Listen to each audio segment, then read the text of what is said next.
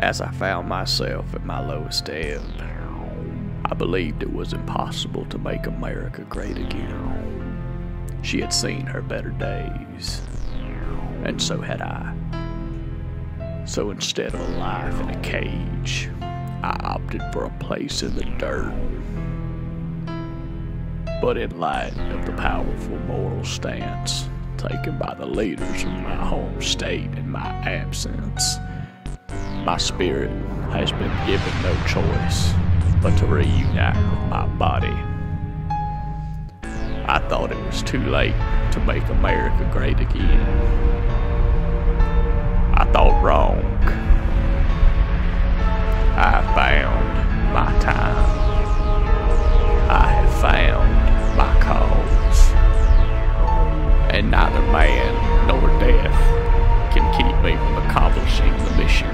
the good Lord put me on this earth to do.